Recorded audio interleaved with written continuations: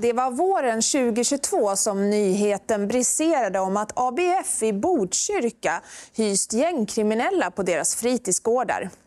Öppen drogförsäljning, skyddsvästar, gängkriminella som spelade dataspel och knivar förekom i den skattefinansierade verksamheten vilket bekräftats av poliskällor.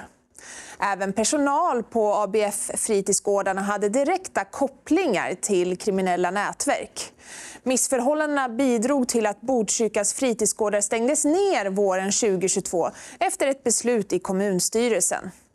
Botkyrkaskandalen ledde till att dåvarande kommunstyrelses ordförande socialdemokraten Ebba Östlin kuppades bort av sitt eget parti under dramatiska former vilket ledde till en intern splittring i partiet. Flera tunga opinionsbildare har riktat skarp kritik mot Socialdemokraternas hantering av Botkyrka-gate.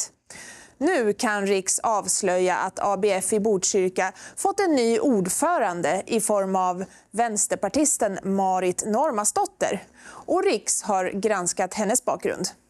Nu ska vi få se ett videoklipp från ett kommunfullmäktigesammanträde från i fjol.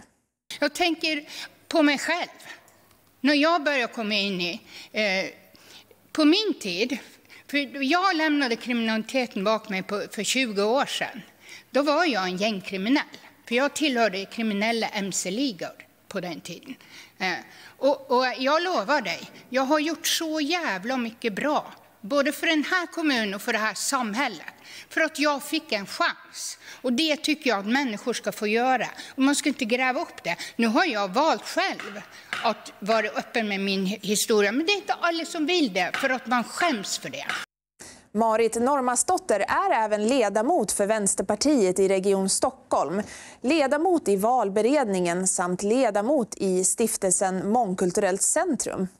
Riks har kontaktat Marit Normasdotter via mejl och frågat hur hon i fortsättningen ska arbeta för att förhindra att gängkriminella infiltrerar ABFs verksamheter. Men Riks har ännu inte fått något svar.